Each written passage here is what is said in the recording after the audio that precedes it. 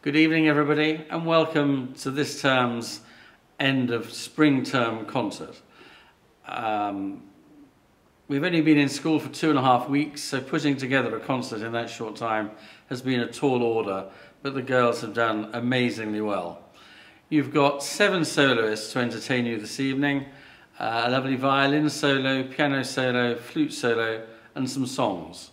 And one song uh, included by Stephen Sondheim because we're recording this on Monday evening, which happens to be his birthday. Uh, I hope you all have a lovely Easter holiday and a lovely Easter, and hope next time I see you, we're actually in school for a real concert. Meanwhile, enjoy tonight's program. Thank you.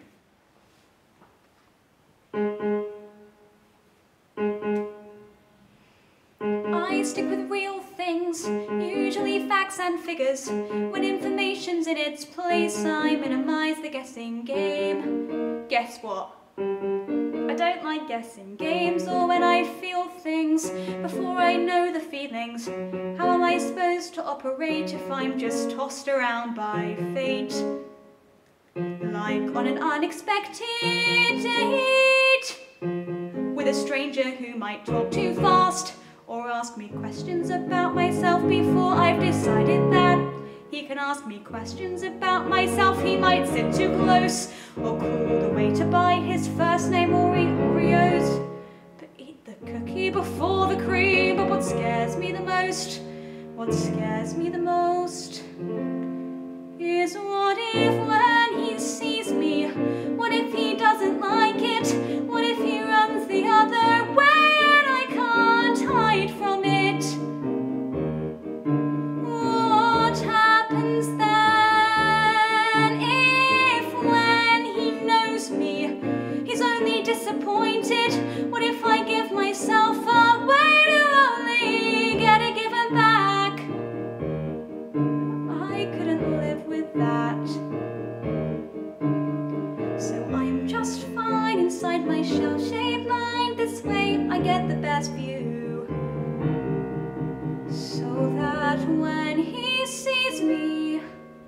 I want him to.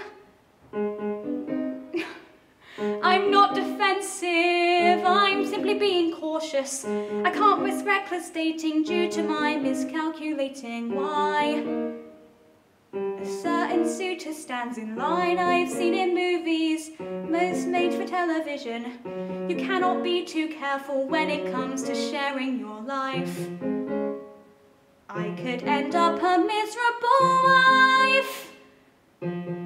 He could be criminal, some sort of psychopath who escaped from an institution somewhere where they don't have girls. He could have masterminded some way to find me. He could be colorblind. How untrustworthy is that? He could be less than kind. Or even worse, he could be very nice, have lovely eyes, and make me laugh.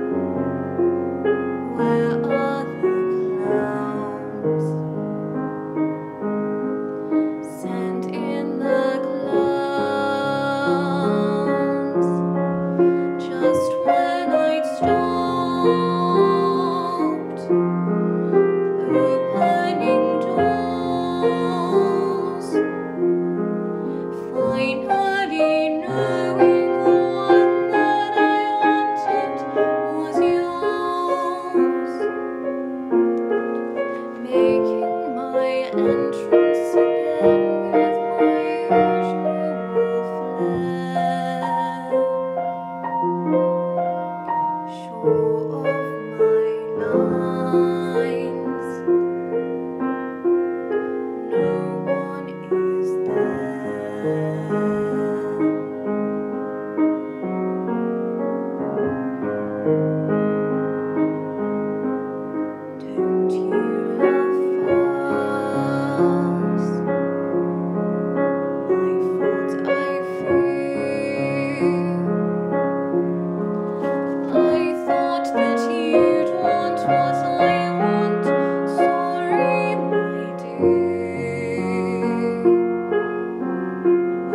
the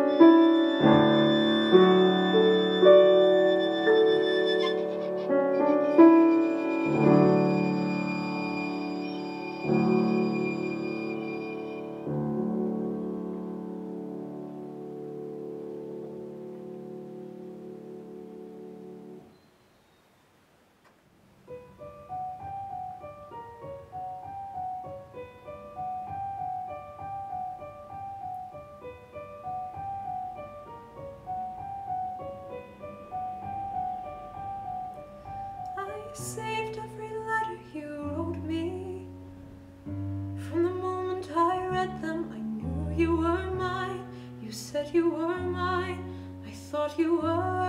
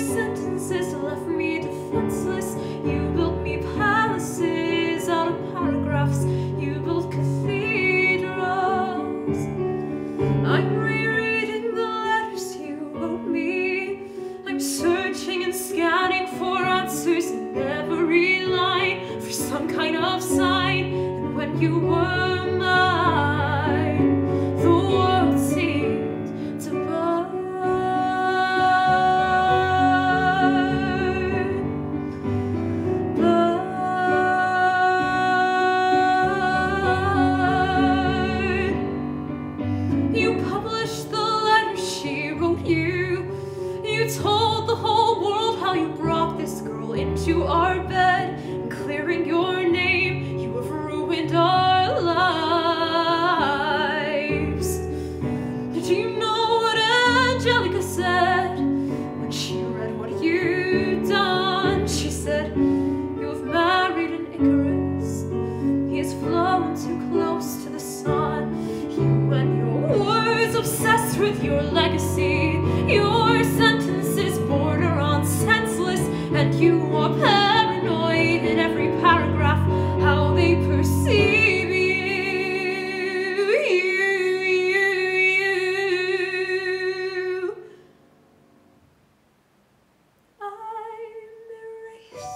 myself from the narrative.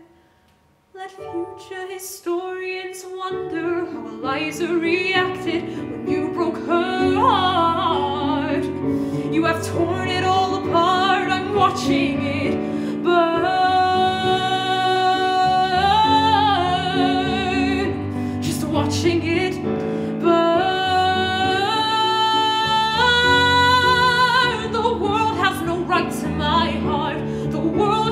place in our bed. They don't get to know what I said. I'm burning the memories, burning the letters that might have redeemed.